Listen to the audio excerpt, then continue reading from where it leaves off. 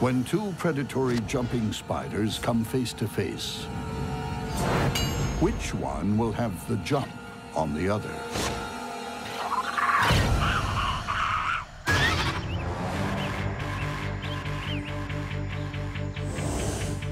In the Battle of the Leaping Assassins, the long-jawed jumping spider is armed to the teeth.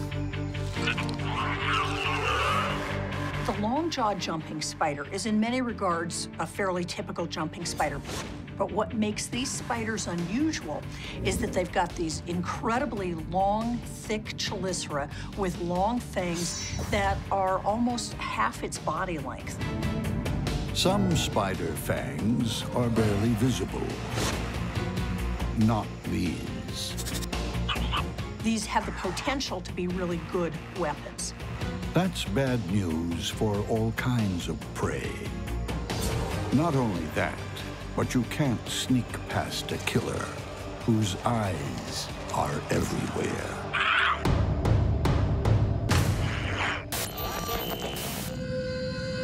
Jumping spiders have incredible vision. They've moved a number of the eyes back on their carapace so that effectively jumping spiders have 360 degree vision. Those two huge eyes, front and center, sense contrast, colors, even ultraviolet light. This smaller spider is already a marked bug. But the long-jawed jumping spider needs all of its visual acuity to make the kill.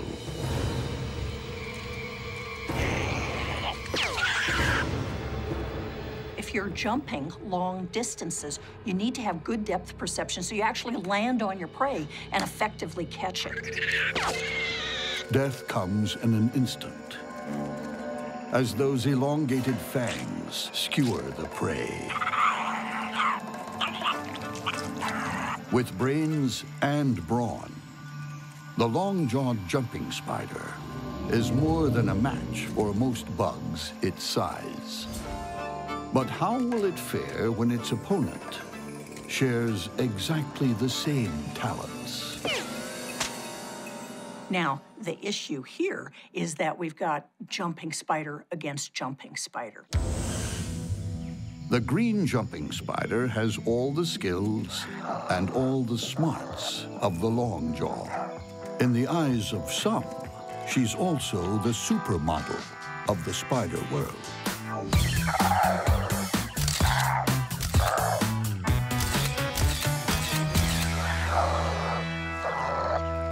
That green jumping spider is absolutely gorgeous and big.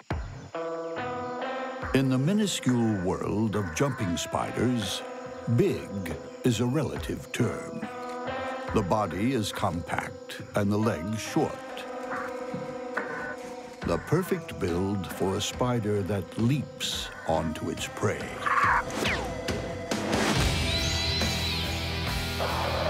When it comes to jumping, these guys are in a class of their own. They can launch themselves an amazing 20 times their own body length.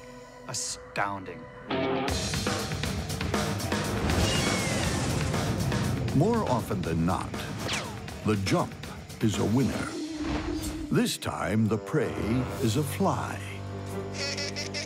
Also renowned for its speed and its wide field of vision. The green jumping spider measures the distance.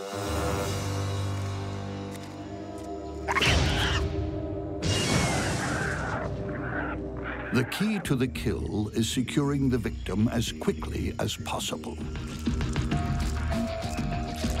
The two front pair of legs are quite well developed, and they have these large spine-like hairs on them.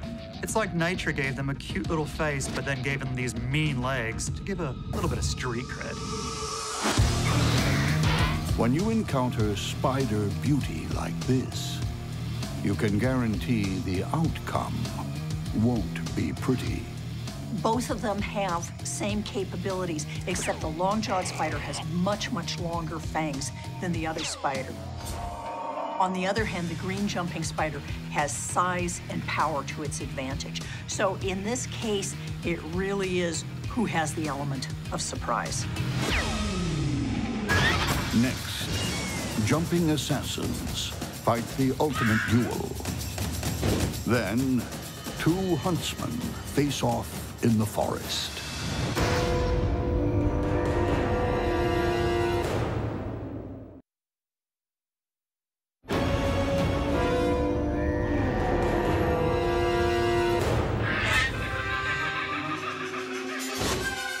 When two species of jumping spider target each other,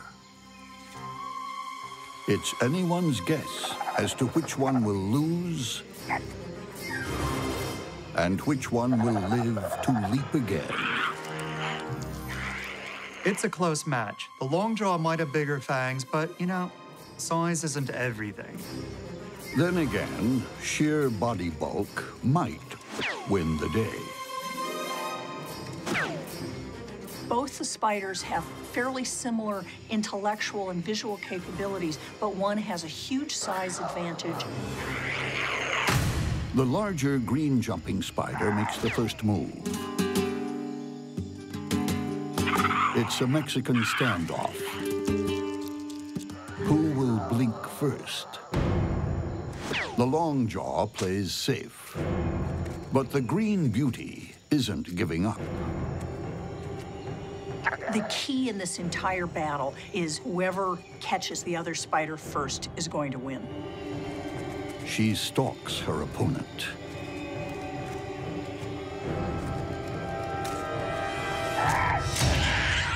And scores a direct hit. Her fangs might be small, but they drip with deadly venom. These guys have a really fast-acting venom. The Longjaw's legs have already started to curl up. A sure sign it's about to pass its use-by date.